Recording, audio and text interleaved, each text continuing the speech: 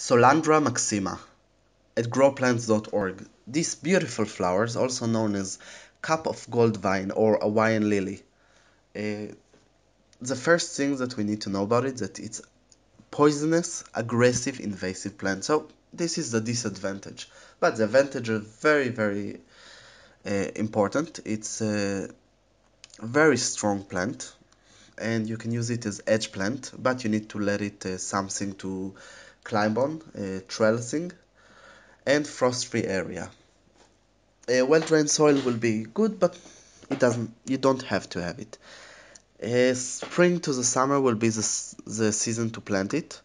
Uh, spider mites and aphids are the major pests. Uh, size, it's more what you design from it. It can grow until like 50 meters, so it's mean uh, 45 feet, something like this. It's a fast growing, uh, medium in uh, less good condition, average to big amount of water.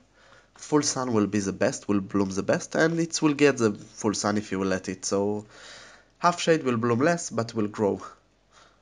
Uh, it's bloom most of the year in the right condition. If you don't have the right condition, it's one bloom uh, in the cold season or in the hot season, depend how much it's hot or depend how much it's cold in your area.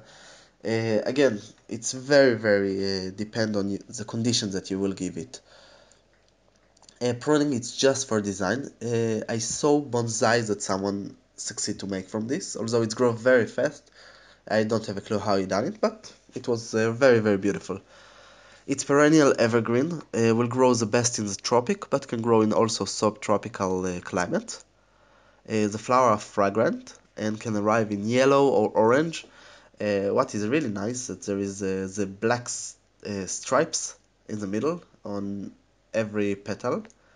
And there is a five petals the flowers are huge. It's 10 to 20 centimeters so it's like 3 to 6 uh, inch above above 6 inch maybe even more.